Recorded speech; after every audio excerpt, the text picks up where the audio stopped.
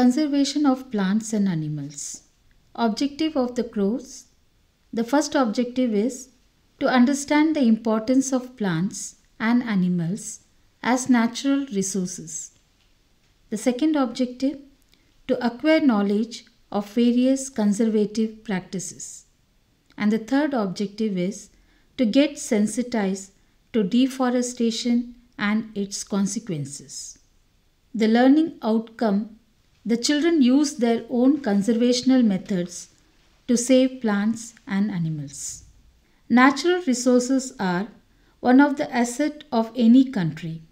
The plants and animals found in the country are the natural resources. We should be proud of our country as it is one of the mega biodiversity center in the world. This makes us more responsible to protect and conserve them for our survival and sustaining life on earth. One way to protect them is to conserve them.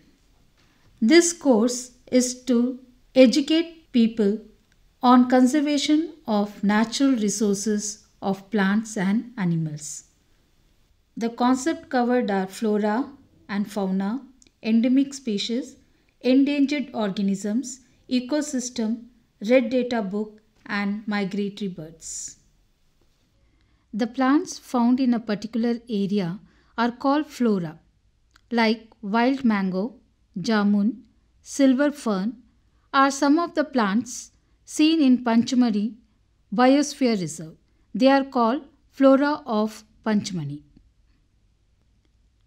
Similarly, the animals found in a particular area is called fauna of that area like chinkara, blue bull, barking deer, cheetal, leopard, wild dog, wolf dog, wolf are examples of Panchmari Biosphere Reserve.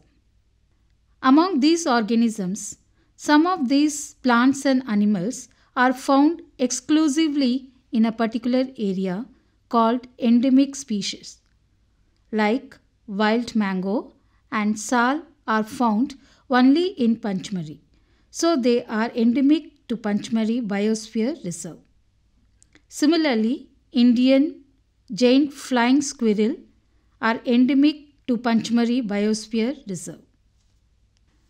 When plants and animals number reduces to a level that they might face extinction, like the number of tigers in our country, then they are called as endangered organisms. Now, how these animals and plants become endangered? The answer is very simple when their ecosystem is disturbed. Now, what is this ecosystem? The ecosystem is a system where the plant, animal, microorganism live along with non living component such as climate, soil, river, deltas, etc. When a plant or an animal is endangered, it affects the food chain and indirectly the ecosystem. We can find out about these endangered species from a red data book. Red data book is a source book which keeps record of all the endangered plants and animals. We can find out which organism is diminishing in number through this book. Sometime you would have seen flock of birds like Siberian cranes visiting India. Why do they move from their native place?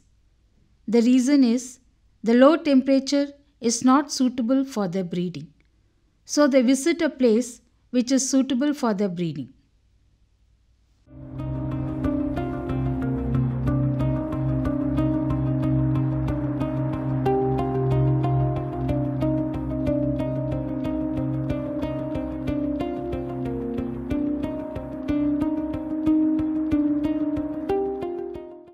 In Karnataka, we see lot of sandalwood, jasmine and banyan tree. Are they flora of Karnataka? Exactly, they are. Similarly, Indian elephant, tiger, Indian cobra, the great Indian hornbill, spotbill pelican, These are all the fauna found in our Karnataka. Among these, few are only found in Karnataka, such as Kurunjifla, Terminalia, and Impatiens. They are the endemic plants of our state. Some of them are endangered too tiger, Indian elephant, lion, and macaw. And some of the plants are picture plant, sal, and Hopea glabra. How can we find about these organisms? There is a book called the Red Data Book. We can find all the information in there. But in our school level, how can we try to protect these organisms? We have to educate children, and we have a biodiversity park in our campus.